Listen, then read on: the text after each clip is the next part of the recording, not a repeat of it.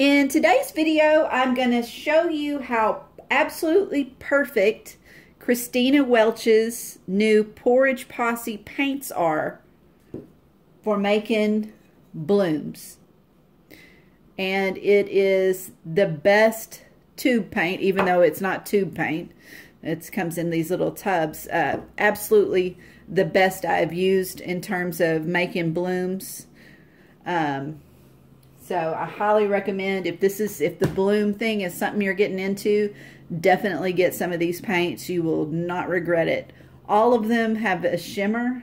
Um, so there's like Morning Pansy Shimmer, which is like a gorgeous purple.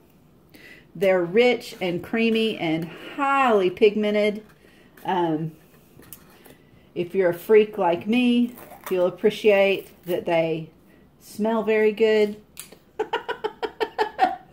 Yes, I, I'm a sniffer.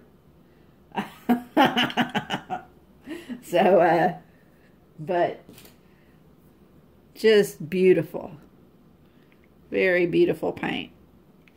She calls them pigments, so I think they're very close to being pure pigment. But uh, she makes these herself in her garage kitchen or, or her regular kitchen. I'm not sure what, but she is an amazing person. She's out there supporting artists in the community um, and has been for years. So I highly recommend that you check out her paint and give it a try.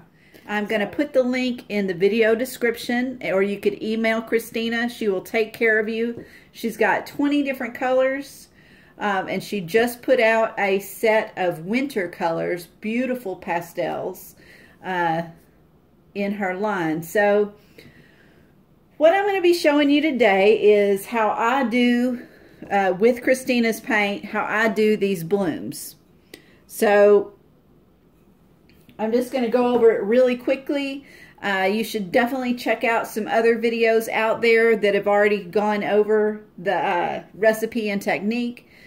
Uh, just a quick rundown. There's um, Tammy Anderson, who's in the United States. There's Erica Hughes, who is in Ireland. There's Saskia. Um, I think it's Schmidt. Saskia. Anyway, uh, she is in the Netherlands. And there's Kanella. Kanella C, I think. Or maybe Kanella K. Anyway, and she's in Dadgum, Canada. I'm so bad with names. So all of these videos are going to be linked in the video description. Uh, if you watch those, you're going to have a great idea of exactly how to do this. So um, I've already mixed up some pouring medium, a lot of it.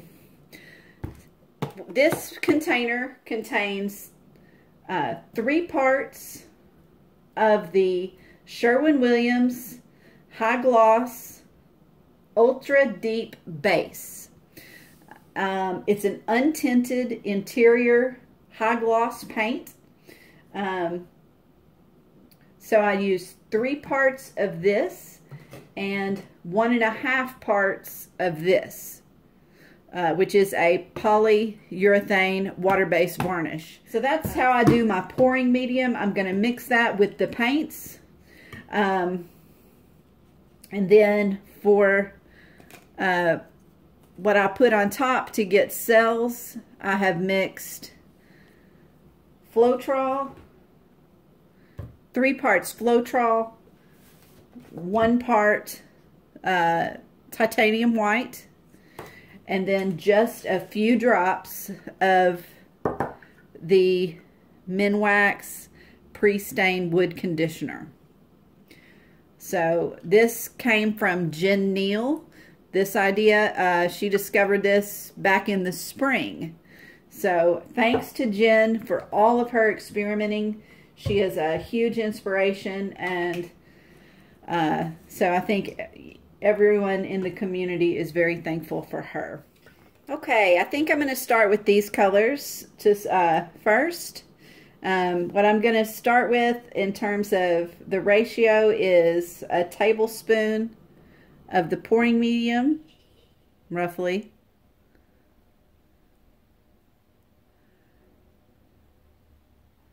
So it's going to be one to three. A tablespoon of the pouring medium to a teaspoon of uh, the paint. And let's see.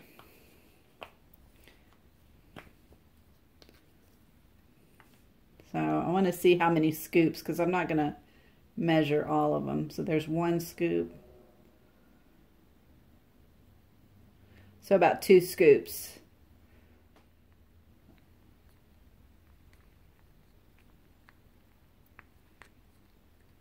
They're so rich. The colors are just gorgeous.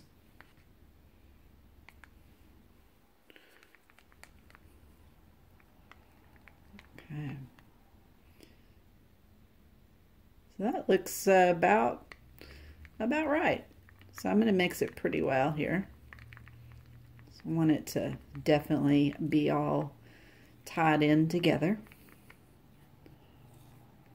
This is a ton of paint for this type of painting. Okay, so I'm going to mix the other two. I'm not going to show you that. Um, and then we will get to pouring.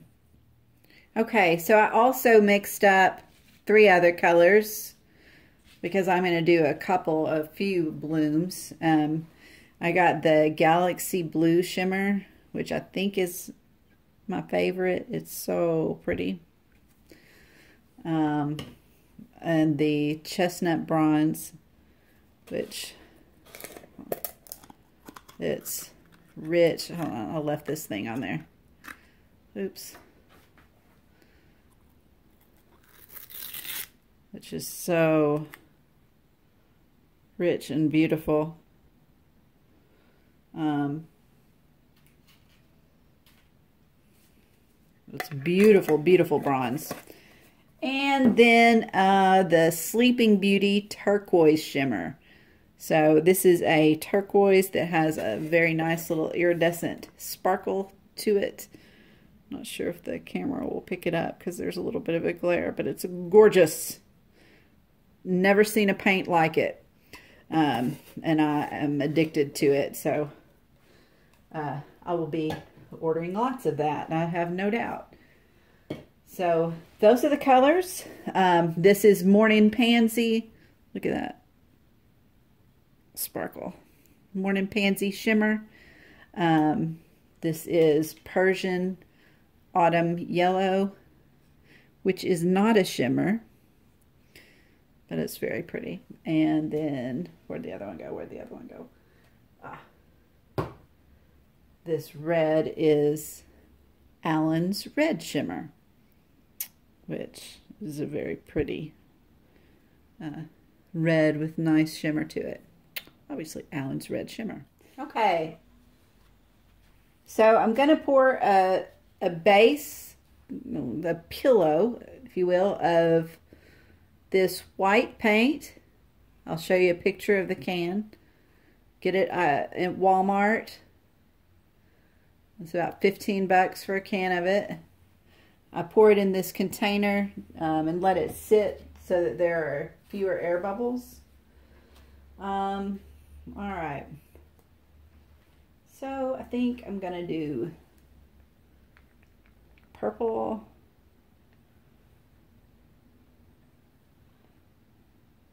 Uh, her, her pigments are just stunning. That shimmer.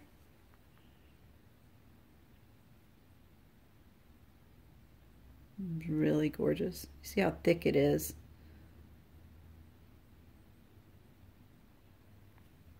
Some eye candy. All right, there's that one. And then I'm going to do turquoise. No, I, no, no, no. Then I'm going to do red.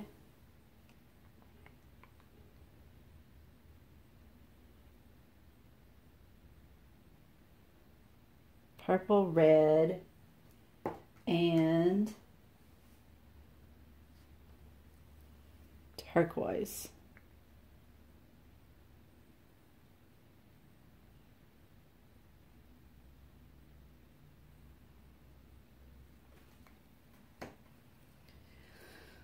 now this is a cell activator. I'm going to put it on there. Just not much. Boom. All right. And now the most important part is blowing. And I am horrible at it. Um, you want to blow straight down into that and uh, try to get a circle, circular pattern. You don't want to blow too hard so it doesn't stick. So anyway, I'm going to just try it. Um, this is where I've got to practice, practice, practice.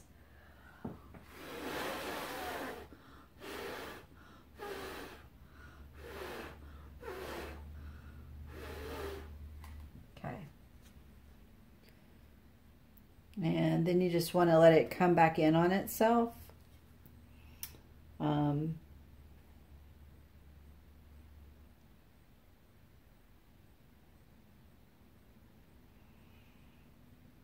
You don't want the middle part to be sticking because uh, when you start tilting it, you want all of it to be moving together as one.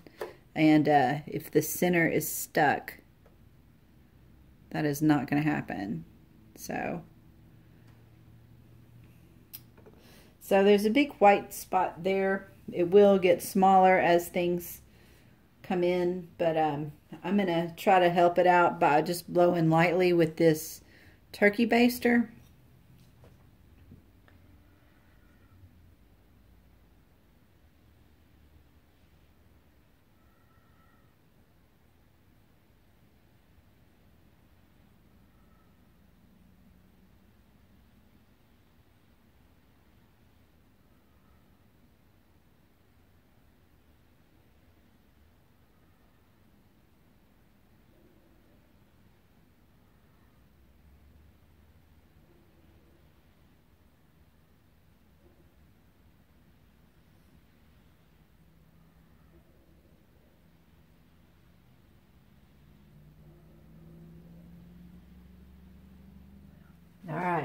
So I got some of it, but you can see it's shrinking up. Those cells are popping up and uh,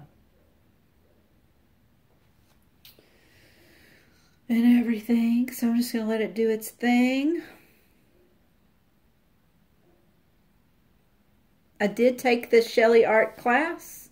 Uh, Shelee uh, did a great job with her tutorials.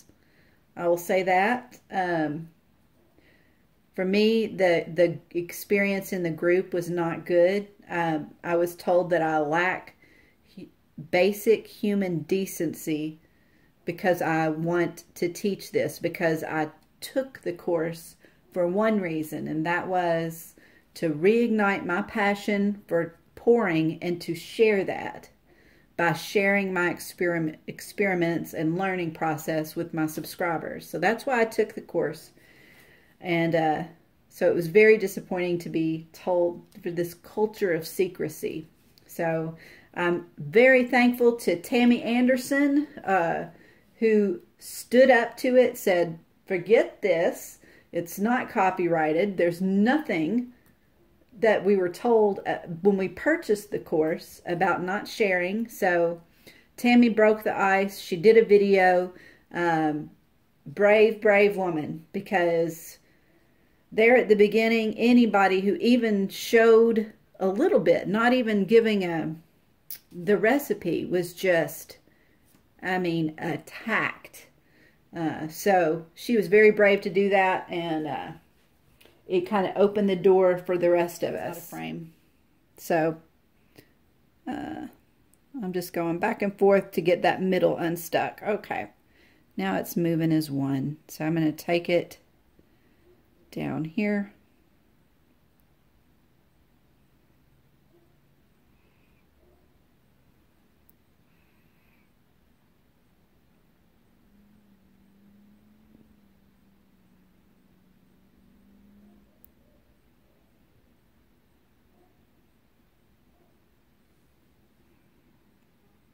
I don't know if you can see how gorgeous that is. And uh, it's not like that with every brand of paint. Or at least it hadn't been for me, so.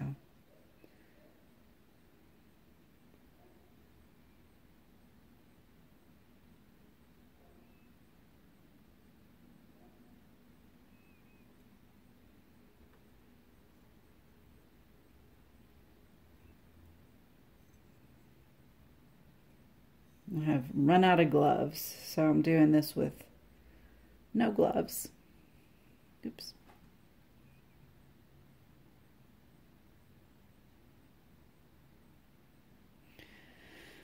The amazing thing about this is the stretchiness of the um, untinted paint. So it really just kind of changes everything up. You could not do this with a like a Liquitex pouring medium or or glue. Your cells would just completely fall apart. But with this, you're able to just, it just is a whole different set of properties. So that's kind of cool. It's kind of a windswept look. I don't know if I should take it back to the middle or...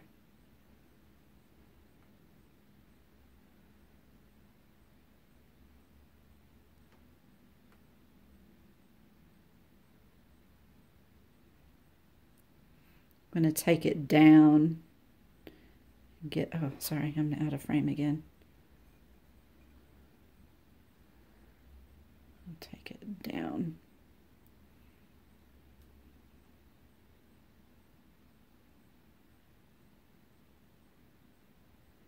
Look at it, just stretching, stretching, stretching. And I, I should be able to get that all the way to the base of the uh, tile with some patience.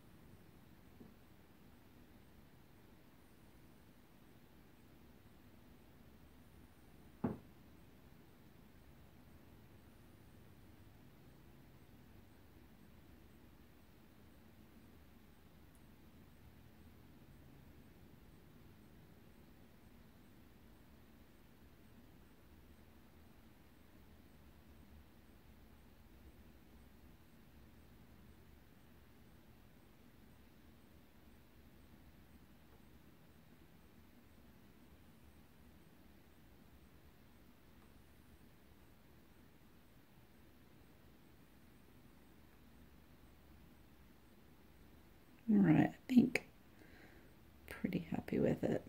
Let that. Okay, so there you go. Get that.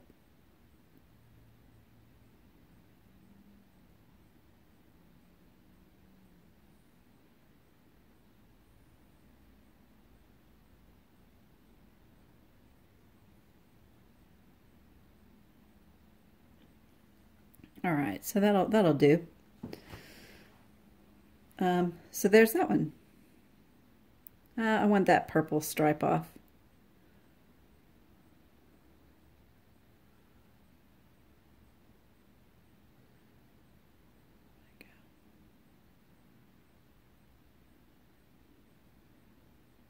Off of there. it's like, come on. I know you can do it. Okay, well, there we go. Cool. So there's that one. That's pretty neat. All right. Whoop, damn it. Look, I got the corner. Okay, I'm going to do some more colors. Hey, y'all. It's a few days later, and uh, I wanted to show you the results of the bloom I just showed you and um, try another one or two uh, with some new colors. So this is the one I just showed you on camera. Um, I did this one the same night. And uh, really, I just gabbed too much during these. I can't even speed it up. Uh, so I'm not going to show you that footage. Uh, is basically the exact same thing I just showed you on, uh, on this one. So when this is covered with resin, it's going to be just you know, a beautiful, I don't think the camera is picking up the shimmer, but uh, just a beautiful shimmery gorgeousness. So what I think I'm going to do with these tiles, just so they're not wasted, is mount them in shadow boxes. Um, I I don't have I don't use enough of the same colors to make coaster sets, and and as a wise wise woman once said, there are there are enough coasters in the world already. So uh, yeah, I'm thinking shadow boxes will be a cool way to to use these. So I've mixed up a couple more colors. The Gold Rush, uh, which is just, and I I'm, I'm kind of a gold freak. This is one of the most beautiful golds I've worked with. And uh, it's just blowing my mind that Christina is making these herself. So it, it's just really beautiful. It dries to a gorgeous uh, finish.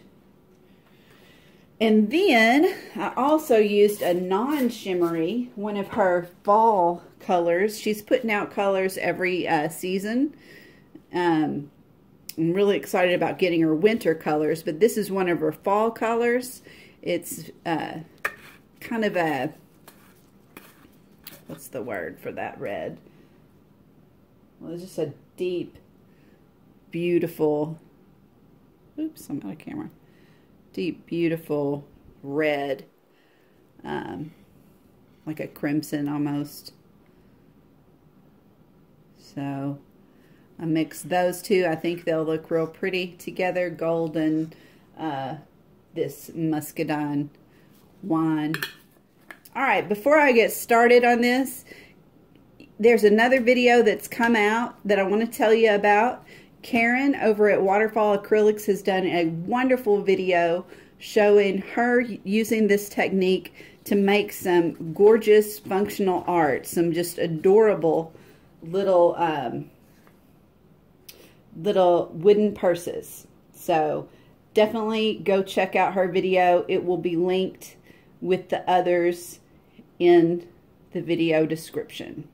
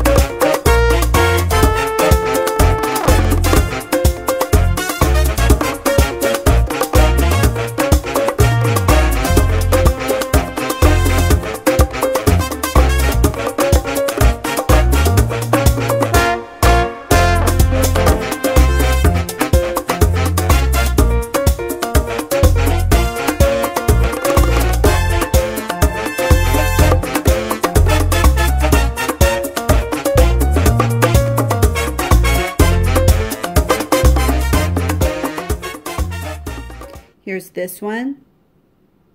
I'm pretty happy with it. I did, uh, uh, for the cell activator on this one, um, and what I'm doing today, I did mix up new cell activator. Um, it's something that I don't want to let sit, so it's like a, I mix a very small amount, um, and, and then every time I, I'm doing this, I mix new cell activator. So, um, I added some water. Uh, I mean, just like three drops of water, thinned it out a little bit, and I'm getting better results. Um, so, still not blowing very well, but um, results are a little better in terms of the the cell explosion, which is the best part. All right, I'm going to do one more.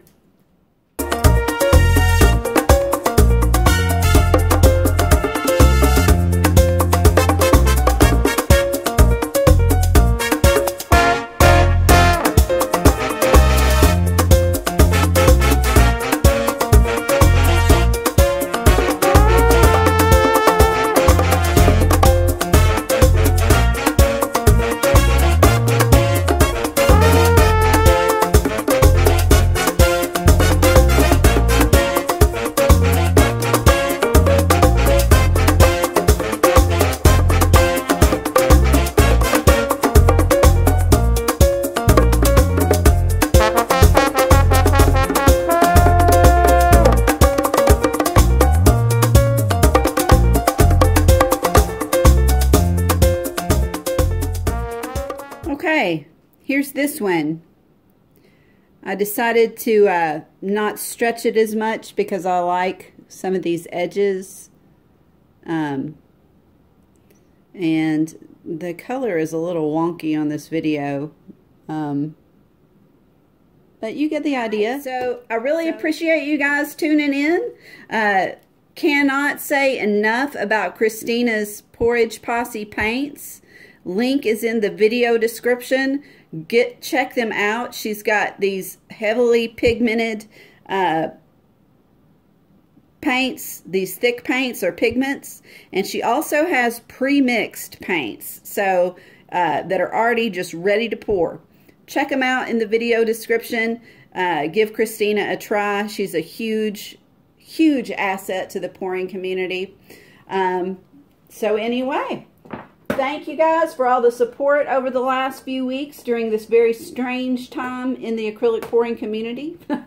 um, super excited to try more experiments with Christina's paint.